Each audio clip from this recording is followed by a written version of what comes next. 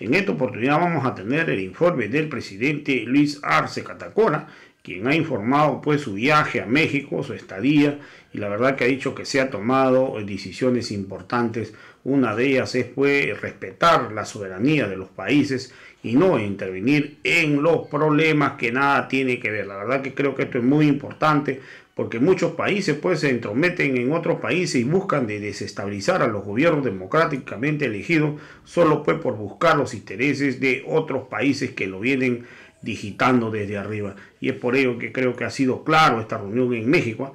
No podemos pues, intervenir en los problemas ajenos de otros países si no solucionamos lo nuestro. Vamos a escuchar eh, pasajes de esta conferencia de prensa que dio el día de hoy al regreso a Bolivia de México al presidente Luis Arce Catacora. López Obrador y lo que está pasando en el mundo refleja nomás una injusticia porque hay muchos países que hoy no están pudiendo vacunar porque no ha habido una distribución equitativa, eh, armónica entre todos los países. Y bueno, eso está desatando hoy problemas estructurales como estamos viendo cómo ocurre en Chile, lo que ocurre en Brasil, en fin, en otros lugares, ¿no? donde algunos, pese a que han, que han eh, dispuesto algunas medidas ¿no? y otros que no lo han hecho, se generan distorsiones en, en la lucha contra la pandemia y puede que esto en el extremo haga pues eh, inútil todo lo que se está haciendo en los países por vacunar, por generar condiciones eh, y combatir el COVID, por una parte. Por otra, informarles que México va a empezar a producir ya una vacuna que ya está circulando en el mundo y que Bolivia tendría también acceso para la compra de esta vacuna internacional que se las estarían haciendo en laboratorios mexicanos. Asimismo, hemos sacado una exhortación a la Organización de Estados Americanos a respetar la democracia y abstenerse de intervenir en asuntos internos de los países, de conformidad a los principios de su propia Carta Constitutiva. Esa es una coincidencia de criterios de que no se puede permitir que una persona, a nombre de una institución como la Organización de Estados Americanos, haga injerencia, injerencia en los asuntos internos de nuestros países. Asimismo, hemos acordado también fortalecer el diálogo y la diplomacia interparlamentaria. Yo he visitado también el Senado, el Senado de eh, la República de México, donde hay mucho interés tanto de diputados mexicanos como de senadores eh, mexicanos de hacer intercambios y de poder reabrir esa, ese intercambio eh, parlamentario con los asambleístas nuestros acá en Bolivia. Por tanto, eso también hemos acordado hacerlo entre los dos países. Luego, hemos acordado desarrollar proyectos de cooperación en distintas áreas de interés, como el tema del litio, que a ellos les interesa conocer nuestra experiencia estudiar vuelos directos entre ambos países. Hoy no existen vuelos directos entre México y Bolivia. Lamentablemente hay que hacerlo por escalas o por otro tipo de vías. También el intercambio de experiencias en el cultivo del nopal para biocombustible. Como ustedes saben, nosotros hemos entrado a la era de la producción del diésel ecológico y eh, queremos aprovechar este nopal, famoso nopal mexicano que tiene una fuente fundamental y ver si es viable su producción en Bolivia y si los resultados de su producción en Bolivia podrían ser incorporados como un insumo de nuestra planta de diésel ecológico que ya está en marcha. Incentivar la promoción comercial y la conformación de misiones empresariales. Esto es muy importante, hemos identificado muchas áreas de interés económico, comercial entre Bolivia y México y esto lo vamos a profundizar con estas misiones empresariales que se han de constituir. Por otra parte, también hemos dado continuidad a algunas políticas que estábamos realizando como país ante la, República de México, como ser la pronta apertura de la librería del Fondo de Cultura Económico en Bolivia. Para quienes estamos en la academia, el Fondo Cultura Económico es uno de los, Económica es una de las instituciones más antiguas de la región en la emisión de textos académicos, científicos eh, de la región y que se venden en todo lado excepto en Bolivia. Eh, por lo tanto, hemos eh, continuado un objetivo que se tenía en nuestro primer gobierno para que pueda tener acá un espacio el Fondo de Cultura Económica y pueda venir a vender esos libros que son de suma utilidad. Yo mismo cuando era estudiante de Economía en la Universidad Mayor de San Andrés he utilizado bastante los textos publicados por el Fondo de Cultura Económica.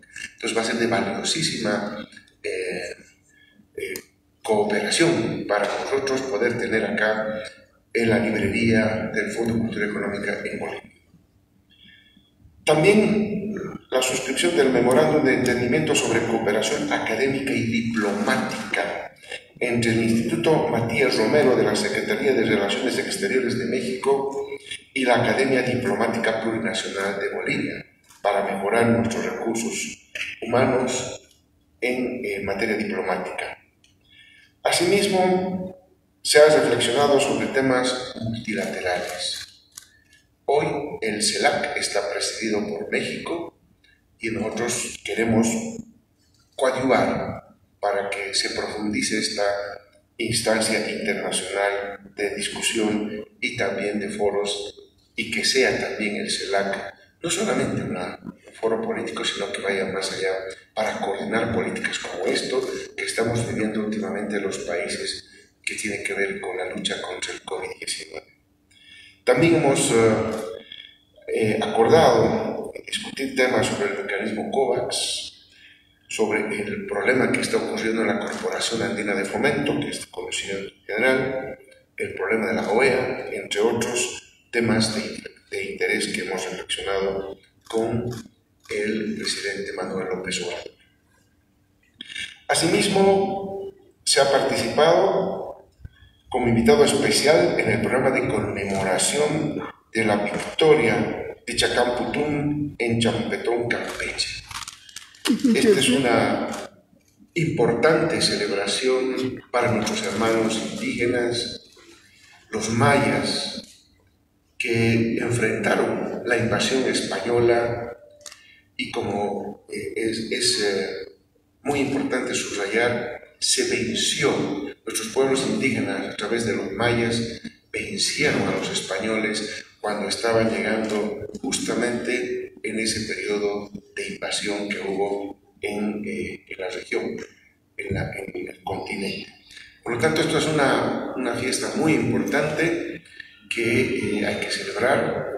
Esto reafirma ese compromiso de nuestros pueblos indígenas originarios que defendieron la soberanía a su manera, haciendo respetar tierra y territorio de nuestros pueblos originarios e indígenas.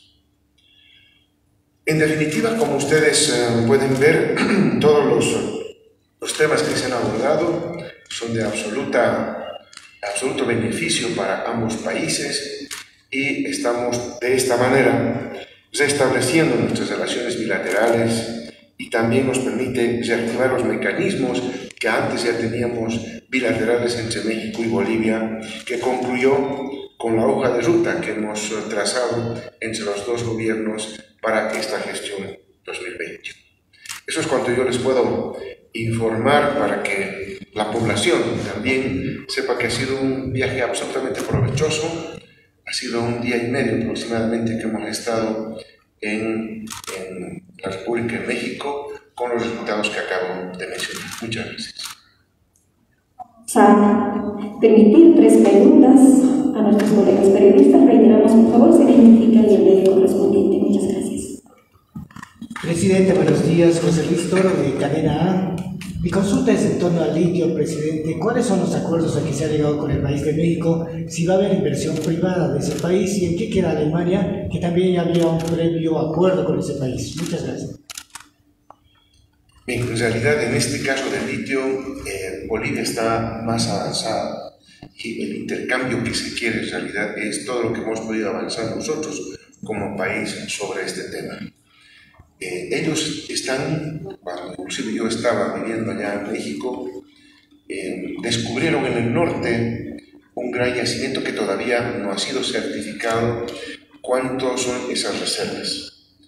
Eh, Bolivia por el momento sigue siendo la primera reserva mundial de litio, pero si se verificara, si se verificara lo que ya se presume preliminarmente, México podría ser la primera reserva mundial de litio si es que se confirmara todo lo que tienen ahí en el norte, que ha sido de un reciente descubrimiento. Por lo tanto, en ese intercambio, el mismo presidente López Obrador, en, las conferencias matutinas que sostiene con la prensa, lo mencionó, que ahí estaría eh, recién evaluando el tema del litio y quería ver las experiencias bolivianas. Ese es el acuerdo que se ha tenido, el intercambio de experiencias que se tienen ambos países sobre el manejo. Presidente, si me permite, aquí presidente, soy Alexander Quispe Zaire de la Red del Gol. Presidente, dos consultas. En su intervención hacía referencia Ah, perdón, presidente. Eh, en su intervención hacía referencia a la Organización de Estados Americanos y los cuestionamientos, y también hay un pronunciamiento de ambos países. En ese marco, presidente, y también un poco volviendo al contexto, recordando lo que sucedió en 2019 y hasta la fecha, eh, ¿Bolivia va a evaluar salir, salirse de este organismo o a dónde apunta la responsabilidad? Uno. Segundo, presidente, eh, en su gira por México ha hecho mucha referencia a los hechos, a los sucesos de 2019. Sin embargo, presidente, el 21 de mayo de 2020 usted ha reconocido a Yanine Áñez como presidenta transitoria constitucional. ¿Qué cambió en su discurso? ¿Por qué cambió su discurso ahora, presidente? Gracias. Bueno, primero, en el tema de la OEA, eh, está claro para todos los países, no solamente la impresión que tenemos en Bolivia del papel de la injerencia que ha tenido este, esta, esta organización a la cabeza de ese Inicialmente no estamos culpando a toda la Organización de Estados Americanos, es básicamente porque en el pasado no hemos tenido esta introducción eh, tan clara, tan evidente como la que hemos tenido con la cabeza, a la cabeza del señor hermano de esta OEA. Entonces, por lo tanto, lo que estamos eh, haciendo es una evaluación, hemos coincidido plenamente en todos los puntos del diagnóstico con eh, el presidente Andrés Manuel López Obrador, y por lo tanto, esto vamos a en todos los foros que sean necesarios porque tenemos que tener, obviamente, una mayor eh, coordinación con otros países para ver si están de acuerdo con esta impresión que tenemos y bueno, ahí ya se tomarán las acciones que se, que se recomiendan. Sobre la segunda parte de la, pregunta, bien, yo no soy abogado, ¿no? Yo no soy constitucionalista, yo soy economista. Eh, a mí, particularmente, como a muchos, nos han hecho creer que era un gobierno transitorio constitucional, pues, ¿no? Pero cuando uno ya eh, con mucho más prolijidad y acompañado de nuestros eh, juristas, de nuestros especialistas eh, constitucionalistas, evalúe, evalúa aspectos que yo, yo, no había tomado en consideración, como por ejemplo el reglamento de debates de la Cámara de Diputados que se debería haber optado para la designación ¿no? de quién debería haber sido el sucesor, ¿no? Eh, dada la renuncia del presente Senado, quién debería intervenir en todo ello. Eh, yo no conocía ese reglamento, no conocía esas normativas, como muchos de los bolivianos, ¿no? y nos damos cuenta que debería haber presidido la hermana Susana Rivero, por ejemplo, que estaba en la Cámara de Diputados y cosas así que realmente cuestionan profundamente lo que hasta ese momento los medios de comunicación nos habían informado, ¿no? Entonces, eh, bueno, ahí hay que reconocer que uno no, no es pues perito en todo, yo no soy todólogo, eh, entonces puedo cometer errores, no tengo ningún problema en reconocer que nos podemos equivocar en dar alguna precisión que tal vez a insistencia de los propios periodistas, porque yo di mi respuesta muy clara esa noche, está en los videos que lo demuestran así, ¿verdad? Pero bueno, uno puede caer en errores eh, que no son parte de la formación que uno tiene. Y felizmente están quienes eh, son peritos en la materia que nos pueden asesorar mejor. Buenos días, presidente. Roxana Mendiola de Bolivia TV le habla. Quería consultarle, presidente, por favor, respecto al tema comercial con México. ¿Cuáles son los principales productos que se van a, van a ser los potenciales con los que se va a trabajar con México? Y eh, respecto al tema del viaje también y la relación bilateral, eh, se ha hecho una invitación al presidente López Obrador para que pueda también visitar Bolivia. ¿En qué marco sería? Si se ha dado, ya tiene una respuesta y si tiene alguna fecha tentativa para su llegada. Bueno, hay varios temas en materia comercial que se puede avanzar. En realidad, en nuestro gobierno, en el gobierno antes del golpe de Estado, evidentemente estábamos avanzando dentro del acuerdo de complementación económica que tenemos firmado con la República de México. Hay productos que se han mostrado interés, el tema de la quinoa, en fin, varios eh, productos que se estaban avanzando y bueno, vamos a proseguir, vamos a continuar con eh, esa definición de esos productos que han estado ya en la lista previa cuando estábamos efectuando avances en nuestro primer gobierno. Sí, evidentemente nosotros también hemos eh, invitado al presidente Andrés Manuel López Obrador a que visite nuestro país. Él ha mostrado mucho interés de venir acá en Bolivia. Entendemos que la agenda del presidente es bastante, eh, bastante cerrada, bastante eh, llena la agenda y por lo tanto él ha mostrado su interés especialmente de visitar la ruta del Che. Esa ha sido su inclinación, que estaría muy dispuesto a venir a Bolivia a visitarnos y que uno de sus objetivos sería hacer la ruta del Cheque allá en Valle Grande, donde tenemos justamente una promoción turística también. Así que estamos pendientes a la fecha en la que el presidente Andrés Manuel López Obrador decida venir a Bolivia y lo estaremos esperando con los brazos abiertos.